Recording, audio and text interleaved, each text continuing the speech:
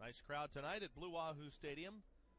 3,245 here to watch the Wahoos and the Barons. The pitch. This is swung at and hammered to deep right. Back goes Aquino. He'll turn and look, and that thing hits off the scoreboard in deep right field. A two run home run for Zack Collins, and all of a sudden, it is a one run game.